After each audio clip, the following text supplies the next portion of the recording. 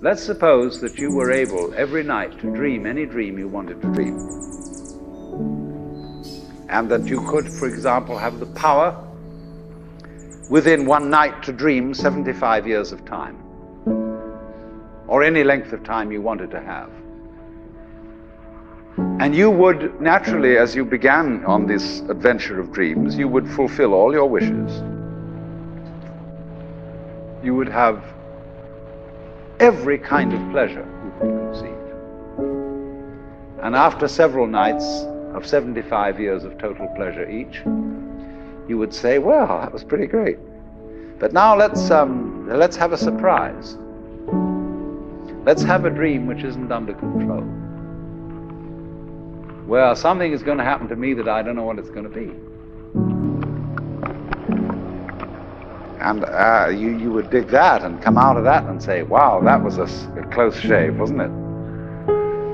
And then you would get more and more adventurous and you would make further and further out gambles as to what you would dream. And finally, you would dream where you are now. I've been running from the pain, trying not to feel the same, but it's a shame that we miss again. See, my confidence is shaking and my heart is feeling vacant, so you try to fill it in. You said I could fix the broken in your heart, you would save it,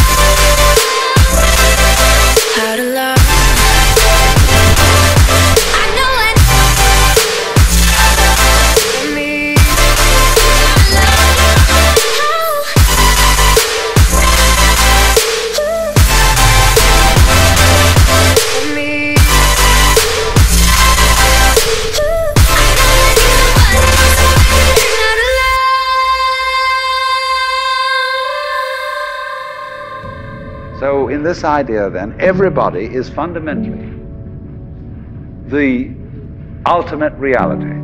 Not God in a politically kingly sense, but God in the sense of being the self, the deep down basic whatever there is. And you're all that. Only you're pretending you're not.